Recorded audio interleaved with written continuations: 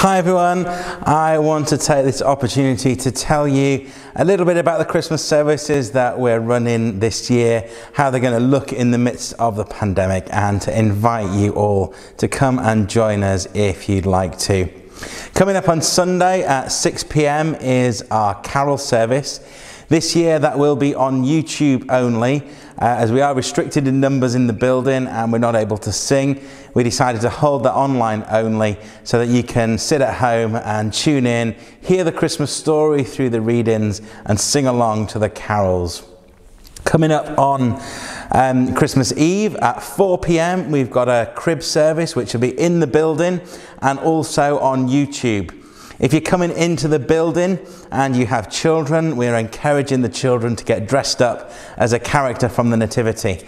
We're unable to share some of our dressing up materials this year, uh, again because of the pandemic. But do come and join us in the building or on YouTube for about 30 45 minutes, 4 pm Christmas Eve, for some fun and adventure as we look at the Christmas story. Then in the evening at 11:15 p.m. we're holding a traditional uh, midnight communion. That's at 11:15 p.m. That will be in the building again and also on our YouTube channel and hopefully our website. Then on Christmas morning at 10:30 a.m. we'll be putting out a pre-recorded service uh, with a short message from me and a few Christmas songs, and that'll be on our Facebook and YouTube channels as well as our website. It'll premiere at 10:30 on Christmas Day. So there'll be no service in the building on Christmas morning this year, again due to the pandemic. Uh, we didn't want to have to clean the church thoroughly at one o'clock Christmas morning. If you'd like to come into the building to join us at any of those services, then we are asking you to book in.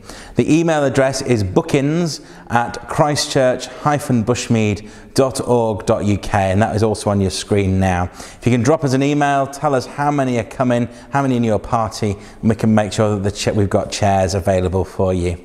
If you're tuning in online, there's no need to let us know, just join in, and the links will be available on our Facebook page and on our website once they are available. If you are coming to the building, uh, we do have to ask you to wear a face covering um, if you're over 11, unless you have a valid medical exemption. And we do have track and trace in place, uh, either on, on a form or using the NHS app if you've got that. Whatever you're doing this year, we know Christmas is going to be very different. But despite what the media say, it's not cancelled. Jesus still comes as a baby, as Emmanuel, God with us. So I want to invite you all to join us at Christ Church this year and celebrate the true meaning of Christmas. If I don't see you, may God bless you, and I wish you and your loved ones a very happy, peaceful, and blessed Christmas when it finally arrives.